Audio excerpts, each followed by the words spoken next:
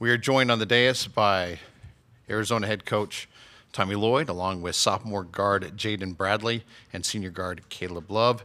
And we'll open up with a quick statement from Coach Lloyd. Really proud of our guys. Um, Dayton's a heck of a ball club. And, uh, you know, I was hoping that we could really come out and, and get after them defensively and, and, really, you know, just play with a bunch of active energy and kind of get them on their heels. And we did. Uh, unfortunately, they responded, and uh, but that's how these games go. And, and you know, we've been really talking about just being steady, you know, staying locked in. Obviously, not getting too high, not getting too low. And even as a staff, you know, we have a pretty active emotional staff. So we've talked about our, us kind of taking a breath and just you know helping our guys stay in that zone. And uh, and, and really proud of them. I mean. JB played amazing today and really did a great job controlling that game. Caleb, you know, got off to a great start you know, had a rough patch, but he bounced back from that, which is that's what winners do. So really, really proud of these guys, and uh, and, and, we're excited and honored uh, to be able to continue to play. Thank you, Coach. And now we will open up for questions for our student athletes right here.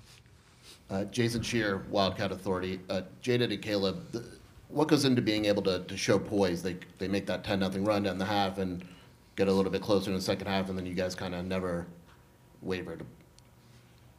Uh, I'll just say, you know, shout out to our coaches. You know, Coach Murph and Coach Ken did a great job with the scout. And uh, I just think halftime we came out, trusted the plan, even though Dayton came back with a run. And, you know, we just stayed poised. Yeah, I think that's key. Uh, just staying calm in those moments when, you know, they kind of making a run. Um, you know, not kind of not not panicking, and so um, I think that's what we did, and we you know stuck to the plan like JB said, and uh, we got the job done. Okay, front left, please.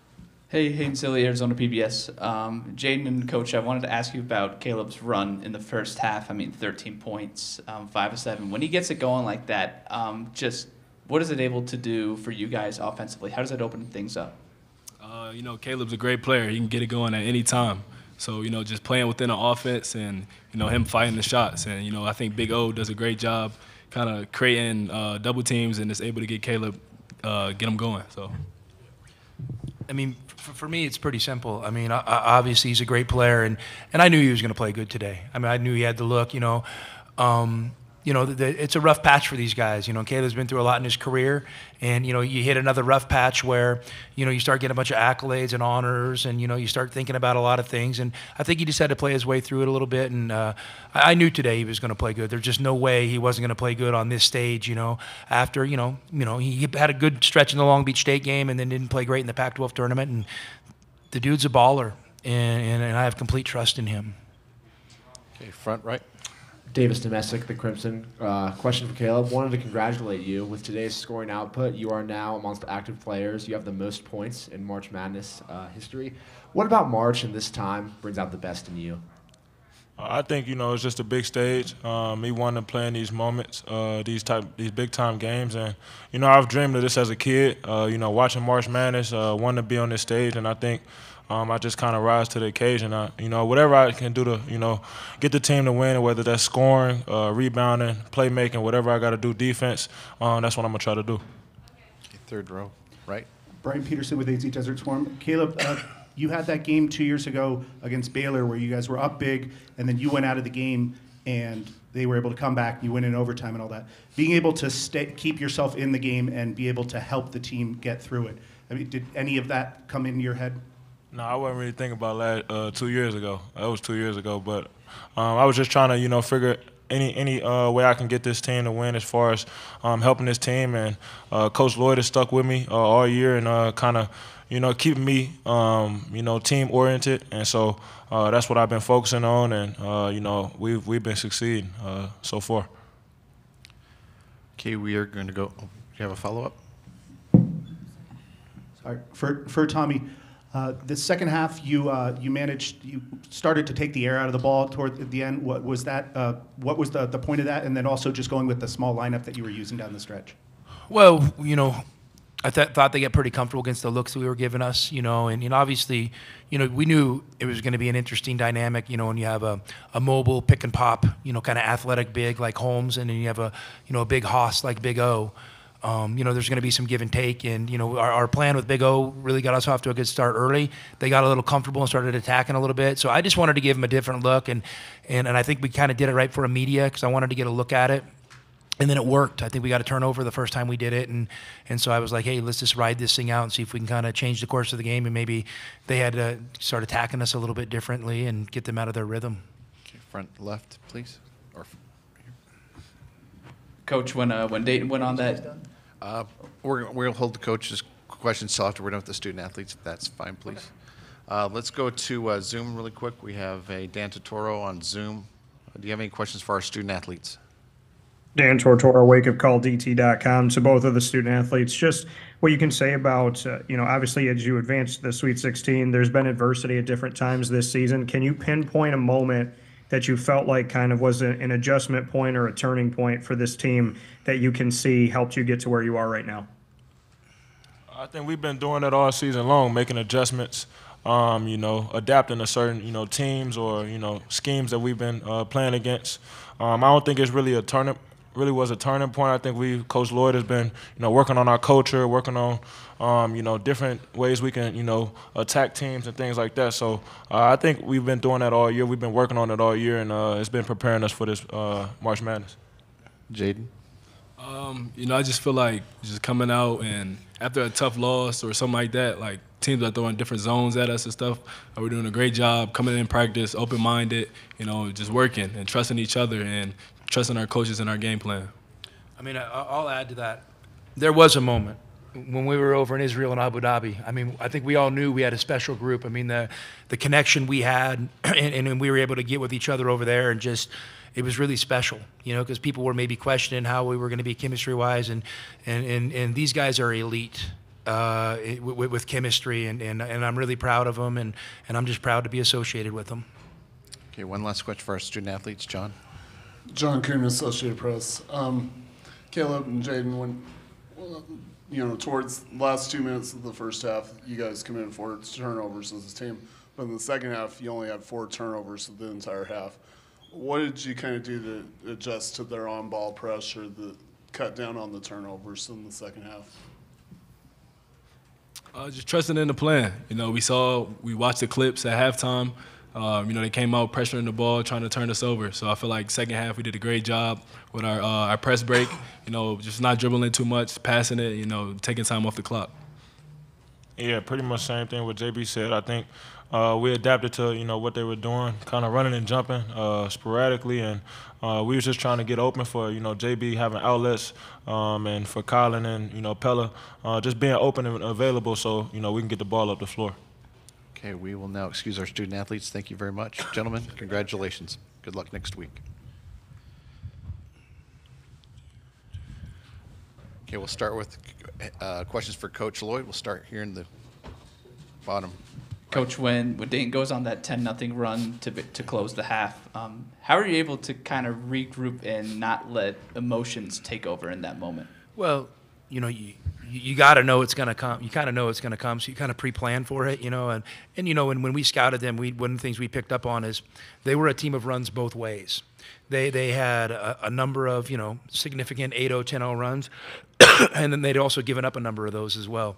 And we saw it in the Nevada game. You know, uh, I'm just excited. I'm relieved, excited, however you want to put it, that we got out to a good lead so we could kind of absorb that run because they maybe had to go to their press earlier than they'd wanted. And sometimes if you know, you don't get that big lead early. You know, they, they, so you get it a little bit later. They go to a press, and then it feels like it can unravel, and you don't have time to go regroup at halftime. And and our guys did a good job of of just regrouping at halftime. We kind of changed our, our plan of attack a little bit, and uh, just played with better fundamentals overall and handling their pressure. Okay, third row, right. Tommy, uh, it looked like Kylan might have hurt his hand early in the game or whatever, and he was out for a little bit. But then when he came back in, he just his shot wasn't off, and he didn't wasn't showing that aggressiveness. Um, was that when you decided you wanted uh, Jaden to, to be the guy doing that? Well, I mean, I was just kind of watching how the game was just playing, and you know, it's nothing. You know, I mean, Kylan made two huge free throws in that game, and you know, I kind of ended up with a lineup out there that was doing well, and you know, sometimes you ride that, and I thought JB was doing a really good job against that that pressure up top of handling it and not panicking, and you know, even you know, kind of went at him a couple times, you know, and those are high risk plays when you're attacking a press like that. But that's how you go. You want to go downhill with the press and, and before they can set their defense. So I, I was just, you know, proud of the way JB responded. You know, Kylan was awesome on, on Thursday, you know, and, and when you have a great team, you know, it's, it's different guys' nights on, on different nights. So um, just really proud of, of, of the whole team and how they handled it. And Kylan was great in the locker room, so no concerns for me. Yeah, yeah, Tommy. Steve Rivera, allsportstucson.com. If you can expand on Jaden's play, I, I, all year he's been biding his time, biding his time. Today was that time. Yeah, I mean, I mean, you can maybe say he's biding his time, but when you're on an elite team, you know, guys have to make sacrifices, and that's the only way it works. And and and JB's character is so high, and he's an absolute winner. Um, I mean, I, I told him after the game, I appreciate him, you know, hanging with it. And I appreciate him hanging with me. Um, he, he's going to be an elite player. He's going to end up being a, one of the Arizona greats at the end of the day. And, and him accepting that role this year has allowed us to be the team we are today. So I'm really thankful for that. Okay, third row right. Coach, wanted to ask you about two players. It, it seemed like, especially there was a, a span in the first half where Krivas played some of his best basketball of the year, especially defensively, and then just thoughts on Keshad today. I mean, Keshad's uh, man, he, he's a dog. He's a winner. Um, you know, I mean, you know that dunk was attempt was crazy. You know, but but I also think it sets a little bit of a tone. Um, he, he helps us at both ends of the floor, and it's the way the things we can incorporate in our defensive game plan because of him. I mean, he guards like a guard, tough enough to guard bigs, uh, makes him elite, gets tough rebounds. You know, you know, finishes around the basket when he has to, makes a timing three. I thought that three he hit at the start of the second half was huge. I think we were six, and he put it back up to nine right away, and and that just you know gave us a little more breathing room to get settled in in the second half. So he's an absolute winner, and Big Mo is really coming around. Big Mo is going to be a great player he's just going through some of the, the normal growing pains, you know, of a, a, a, young player from Europe playing high level college basketball. And, and, and I really think he and Oumar can be a heck of a one two punch. We've really been encouraging him just to be more physical. And, and we really wanted, you know, Holmes, you know, when O's out of the game, you know, we wanted his rest to be going against Krivas, and we wanted to go right at him. And I thought he had a couple of great plays. He had a finish early that just kind of rolled around and luckily went in, and, and then he had a big dunk on kind of a broken play. So, uh, and then then he had some good plays defensively as well. So, yeah, those those guys really contributed. You have time for one more here. Hey, Coach uh, Davis Domestic, the Crimson. Your bench outscored the Dayton bench 23 to two today. We've talked about JB. We've talked about Big Mo. Um, so, who else are you looking for to step up these next couple of games? Well, I mean, you know, we have a pretty solid eight man rotation, and, and the, the beautiful thing is, you know, I don't have to sit there and worry about one guy playing great for us to win, and that, that's a real luxury. I thought KJ's minutes were really impactful today. You know, he didn't he didn't necessarily have a great game uh, on Thursday, but he bounced back, and, and that's what winners do. I mean, you know, it, it, I know it's an old cliche, but every dog has its day and uh, in our program, I guess it's every cat has its day, and uh, and so really proud of these guys. It's an absolute group of winners, and we can't wait to play next week.